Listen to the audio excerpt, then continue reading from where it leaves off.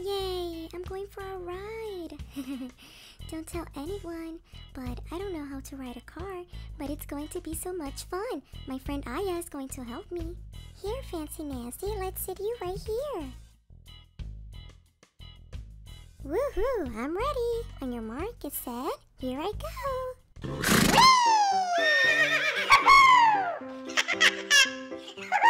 go.